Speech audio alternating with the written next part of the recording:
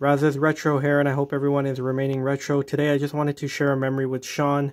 Um, I think a couple weeks ago, I posted a short about uh, this wrestling tape here, uh, which was basically WrestleMania 1995.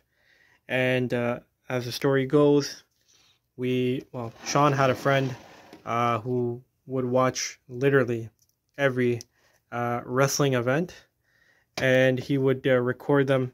Sometimes we would miss the pay per views, so he would record it for us to watch the following day. Uh, and in other cases, we didn't miss the pay per view. He would just record it because you know it's just something he liked doing, and um, essentially, you know, he would just uh, he would just give it he would just give it to us. The thing is, is that there's a lot more, and I just this is what I was able to I guess find. I might just do a part two but I just wanted to quickly share. This one, I, I don't know what it is. It just says WW, so I, obviously I'm thinking it's a WWF. Uh, just not too sure what happened to the F over there. Um, this one I remember, very special.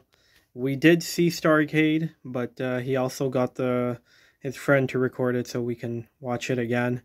Um, one of the most anticipated pay-per-views of all time just to end in a very big disappointment. Sting versus Hogan.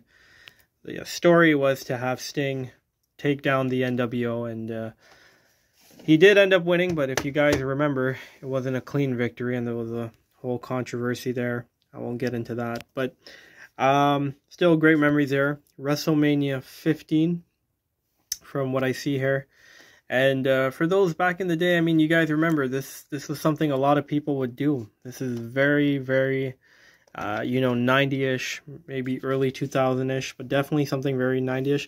This is funny because we actually own this Rumble in the Bronx. We actually have it on DVD and on VHS, but I think we got it on VHS a little later, so I think we got that first. Um, another great wrestling event WCW World War III, one of my favorite type of pay-per-views that WCW used to do. There used to be like three three rings, and it would be like a battle royale, Royal Rumble type of thing, where you'd have 60 wrestlers, uh, all divided into three rings, and uh, it was pretty fun to watch. A lot of good memories there. This one says WWF Backlash. Let me just see if I open it, if it gives a year. No, it doesn't. It simply says Backlash, so not too sure what year that's from. This says WrestleMania. It's not. It's clearly not written well.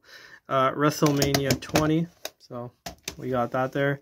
This I thought initially was a wrestling tape, but it isn't. It's an actual VHS. I just found it like that.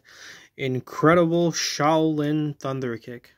Ooh, okay. Um, and then we have well, we have something here. Okay, it's just a tape, um, but there's no marking, so I really don't know what that is. And we have another one. The marking is here. Survivor Series 1996 and 1997. So I think for this one, uh, they recorded Survivor Series 1996 and then 1997 and put it in one. I'm not too sure. It's a shame because I don't have a VHS anymore, so I wouldn't be able to actually check these out. I'm sure more than half don't even work, but um, just wanted to share that, guys, with you. Uh, memory of Shan. I like I said, um, I had something recorded. Uh, I posted rather, excuse me, a short prior, uh, not too long ago, talking about this, and uh, I said to myself, okay, if I could find some, I'll definitely make a quick video. If I find some more, and that's keyword is if, um, you know, then uh, I'll do a part two. But I just wanted to share this because I'm sure a lot of people in the 90s growing up did this. I mean, a lot of people where I grew up were doing this. So is this something that you did? Did you have friends, you know, pre-record uh, wrestling events or, or, anything? I remember um, if I can find it, my sister recorded a hockey game for me. Uh, it was a special one. It was a Heritage Classic, which uh, I, which I missed, unfortunately, at the time. I know people would also record their favorite shows if they were gone or if uh, they had to step out. So if you do have any memories of, you know, recording stuff on the classic VHSs, then do let me know. Just wanted to share that memory. I hope everyone is well. I hope everyone is happy. More importantly, I hope everyone is remaining retro. And remember, life is like a game. You decide how you want to play it. All you got to do, well, it's tangled up, but you get it. You just got to hit that start button.